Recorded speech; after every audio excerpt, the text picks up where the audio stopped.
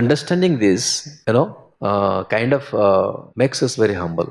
The whole creation itself makes us humble. What to speak of understanding, you know? We feel insignificant, right? We feel confused without a purpose. So, mm, so therefore, understanding itself uh, kind of gives us some understanding how humble or how insignificant we are. The more we know, like you know, big big scientists they actually admit, the more we try to know, the more we become humble. That how much we don't know. The more we know, they get a sense of how much that how much more to be known or how much they don't know. And Newton, Sir Isaac Newton, he said actually, you know, I'm trying to. The ocean is vast and huge, and I'm on the beach picking few pebbles here and there, few pebbles of knowledge. So what to speak of how much we don't know. But within that, when we understand that Lord Krishna is actually the origin of everything, then our our determination or conviction to serve, to you know, to understand and to understand what is beyond this becomes more meaningful.